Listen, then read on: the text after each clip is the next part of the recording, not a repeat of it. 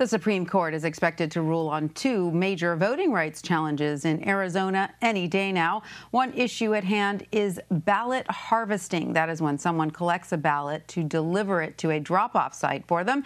In Arizona, only certain people, like family members and caregivers, are permitted to do that. An appeals court ruled the so called ballot harvesting restrictions were driven by discriminatory intent.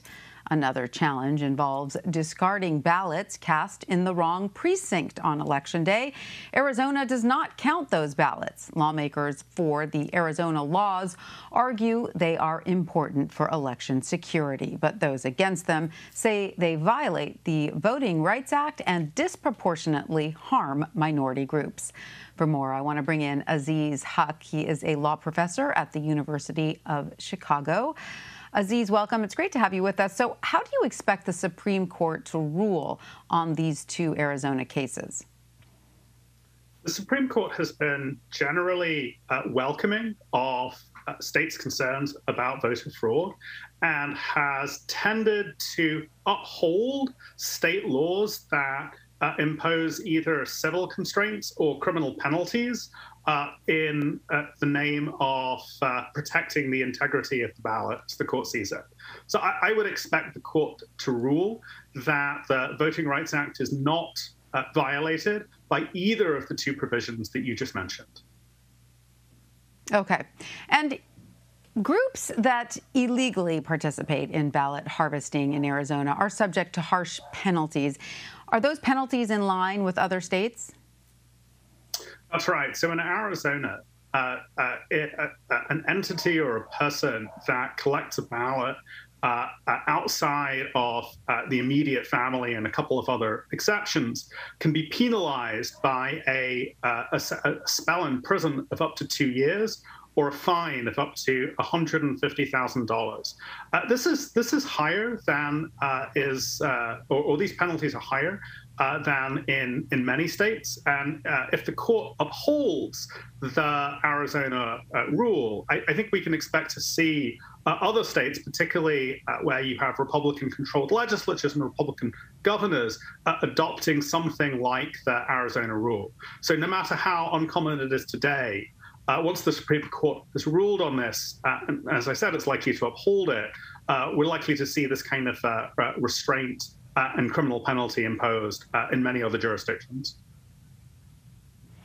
And is there evidence of widespread ballot harvesting or out of precinct voting? Um, and has it been shown to be detrimental to election security in Arizona? Well, in, in many states, if you vote outside of your precinct, uh, or if you turn up to uh, a precinct that's not yours, what will happen is that you're given a provisional ballot to cast. That's what happens, for example, where I live in uh, Chicago.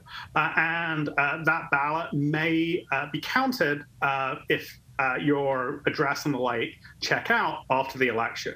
So, um, out of precinct voting doesn't necessarily present a risk to the integrity of the election.